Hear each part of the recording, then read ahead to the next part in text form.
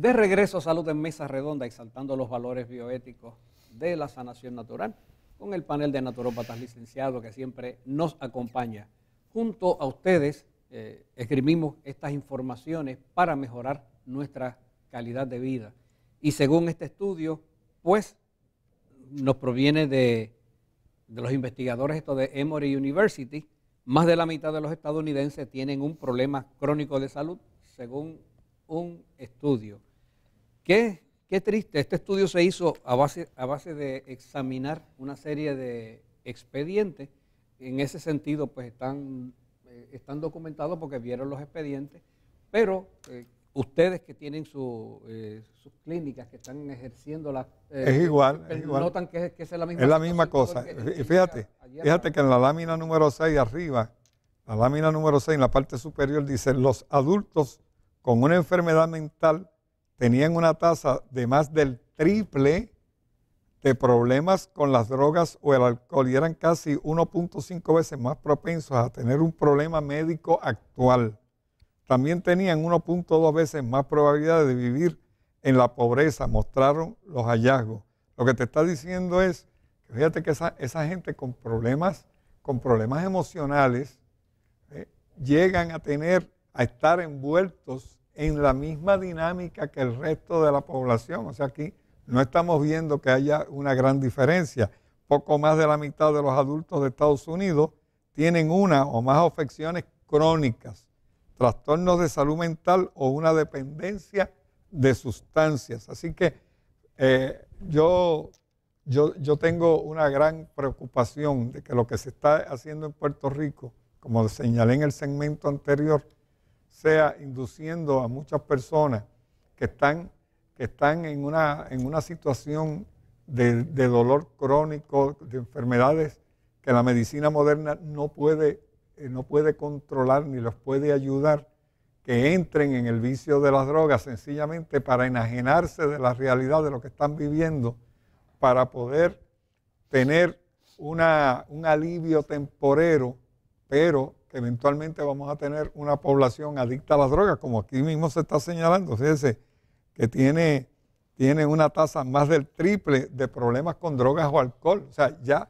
estas personas que estamos viendo, que, se, vuelven dependientes a la marihuana, ya, ya, ya saben que el alcohol no les hace nada, ya saben que otras drogas no les hace nada y recurren a la marihuana justamente buscando ese alivio. Y claro, la marihuana lo puede hacer no porque los cure, sino porque le bloquea los centros de dolor del cerebro. No sienten ningún tipo de, dolencia bajo los efectos del alcohol, tienen por lo menos un descanso en su vida diaria de, de, ese dolor, pero cuando le pasa el efecto de la marihuana, entonces vuelven otra vez a hacer los mismos, a sentir los mismos dolores, a estar conscientes de la situación que están sufriendo. ¿Y qué van a hacer ahora? Pues, pues recurrir nuevamente a la marihuana. ¿Cuántas veces? ¿Cuántas veces van a necesitar recurrir a la marihuana al día? ¿Y por cuánto tiempo les va a durar? Porque sabemos que todas estas drogas al principio tienen, tienen un efecto psicotrópico excelente, pero que con el tiempo el efecto va desapareciendo y cada vez necesitan más recurrencia. Por lo tanto, los estamos convirtiendo en unos en, adictos cada vez con más, más frecuentes del uso del medicamento o de la droga y hasta dónde vamos a llegar en nuestra sociedad dentro de esa dinámica. Sin que la marihuana le resuelva el problema crónico degenerativo. De las enfermedades crónicas. No va a resolver ah, el problema de la diabetes de la hipertensión. Ahora que usted menciona la marihuana y menciona eso, eh, hay, otra hay otra información que, si, tienen que, si tenemos que referirnos a la misma lo pueden hacer, pero la, la siguiente información que nos las ofrece Medscape dice que los médicos subestiman los daños y sobreestiman los beneficios. O sea, cuando le dan una, una, una eh, un tratamiento, paciente, ellos están sobreestimando los beneficios y subestimando los daños. Eso lo vemos todos de, los es que de otra forma. No tienen otra alternativa. No, no, es que no, no, podrían prescribir. Si, si, de verdad se fueran a estimar los daños. No hay salida. Y fíjate, la tercera causa de muerte en Estados Unidos las enfermedades iatrogénicas causadas por los tratamientos o los medicamentos.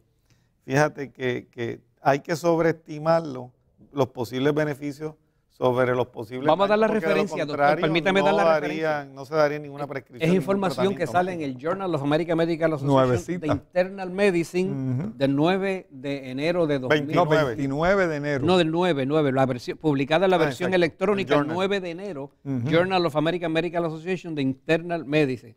¿Ves? Que los médicos subestiman los daños y sobreestiman los beneficios.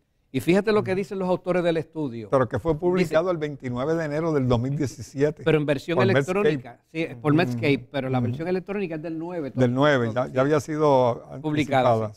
Los pacientes no pueden tomar decisiones informadas si los propios médicos no tienen estimaciones precisas de los daños y beneficios de las intervenciones.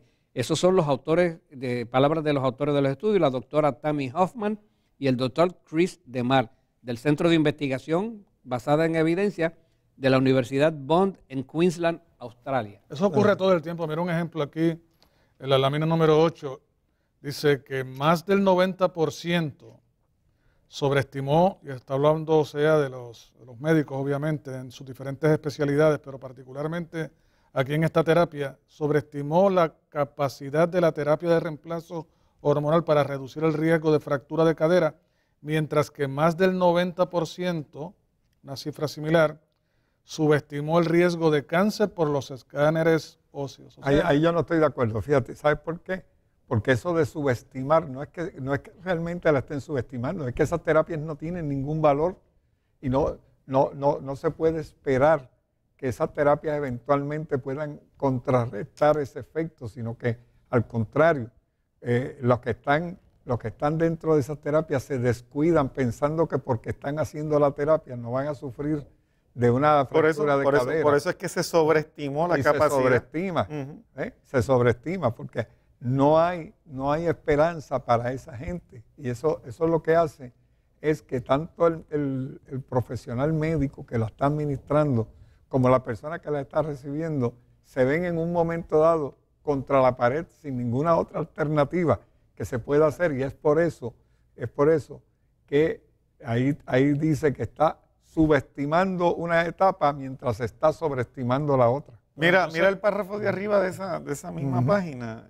Dice que la revisión mostró que la mayoría de los médicos estimó los daños correctamente solamente en un 13% de las veces. 13. O, o, podríamos decir solamente un 13% de los médicos tomó en consideración los posibles daños que podía tener el medicamento. Entendieron, los posibles daños de lo que están, de lo que ellos y los beneficios, fíjate, y los beneficios, o sea que aquí, aquí hay un 11%. Óyeme, aquí hay, aquí hay una negligencia de parte del profesional cuando subestima el daño que puede producir. Pero fíjate que no se aplica solamente. Pero es que no se aplica solamente. No se aplica solamente bueno, tal vez no al daño, pero fíjate que, que, muchas veces no saben tampoco del beneficio. Oye, pero yo pienso, pero yo pienso que también. Porque es que no va a beneficiar más de eso. O, sea, que, es, el problema, es lo que dice el doctor. No logra. No logran llevarlo más lugar, O, sea, el médico es el que administra esto y siempre eh, eh, llevamos la fuerza hacia el médico. Pero en, ¿Por qué se aprobó un medicamento tal? O sea, ¿qué clase de medicamento es ese que, tendría un beneficio en un 10% de las veces? Mire, yo considero que cuando se menciona que qué alternativa tienen las personas, yo pienso que... No, no, los médicos, los médicos. Yo, estoy hablando de la alternativa de los médicos porque la gente tiene otra alternativa. Por eso, pero el problema es que, pero precisamente eso es lo que quiero llevar, el comentario. El comentario es que cuánta responsabilidad tiene el paciente de asumir precisamente el control de qué tipo de tratamiento, de qué tipo de terapia pone en práctica para recuperar y mantener su salud. Porque muchas veces el problema está en que las personas delegan su responsabilidad, la responsabilidad de asumir, de asumir el control se la delegan al profesional de la salud. Y el profesional de la salud va a utilizar las herramientas que tiene a su, a su disposición. Y por eso es que viene el, el, comentario de qué alternativa tiene el médico. Pero la realidad es que el paciente tiene que, ya de una vez y por todas, como está ocurriendo en nuestras oficinas, ¿cuántas personas que van a nuestras oficinas no dicen que están allí porque ya están cansadas, de tener los mismos resultados todo el tiempo. y están comenzando a asumir la responsabilidad de su propia salud. Recibimos pacientes donde el mismo médico le, ha sugerido buscar alguna alternativa porque se quedan ya cortos para trabajar con la situación del paciente. Mira lo que dice en la lámina 9. Por si acaso, por si acaso les queda duda de que este estudio fue bien hecho o no, el, de la Escuela de Medicina de la Universidad de Colorado, el doctor Daniel Matlock dice, esta fue una revisión sistemática muy bien hecha.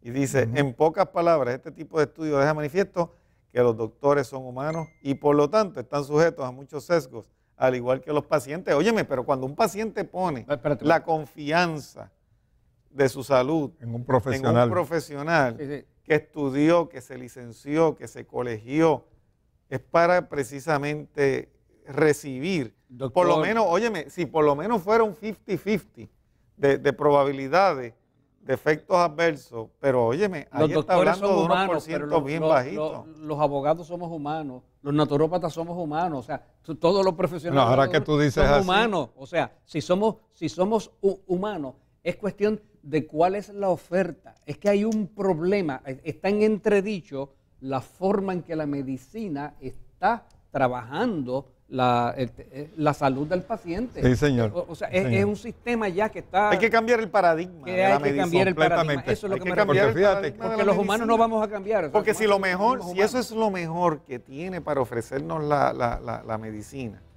donde estamos viendo que solamente un 11% de los profesionales están contemplando los beneficios y un 13% los efectos adversos. Óyeme, no, y nos dice que ese 13% o ese, o ese por sea infalible, o sea, que, esté, que esté dando en el clavo y que esté el logrando. Problema con el, el problema con el cambio. Es que está consciente de los abogados. está consciente del Carlos menciona a los abogados y estamos mencionando a los médicos.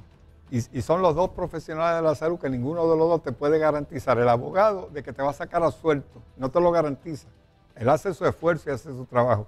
Y el médico no te garantiza que te va a curar. Lo que te garantiza es que te va a dar el tratamiento el, problema indicado por el protocolo médico. El problema con el cambio en el paradigma es que irremediablemente va a tener que culminar en que la forma de medicina que realmente funciona es la que ellos han criticado por décadas. Eso es así. Y, y es, lo que, es lo que se está imponiendo y lo que se está acercando. Y fíjate que nos vamos cada día nos vamos más acercando más a esos parámetros. se va allanando el camino porque, para, Porque si se practica correctamente y adecuadamente la medicina natural, resuelve todas esas situaciones que todavía la medicina convencional no ha podido resolver con mucho más eficiencia, con mucho más eficacia y los porcientos se van a invertir. Hay demasiados intereses económicos, lamentablemente. ¿Será, ¿Será por eso que la Organización Mundial de la Salud ha dicho a los países miembros que tienen que incluir las medicinas alternativas como parte de este, este eh, como parte de la oferta porque ven los resultados de la medicina convencional que no son eh, satisfactorios ni remotamente. Después te voy a hacer un comentario sobre eso que te acabas de decir. Después de la pausa será lo próximo. Esto es Salud en Mesa Redonda. No se retiren.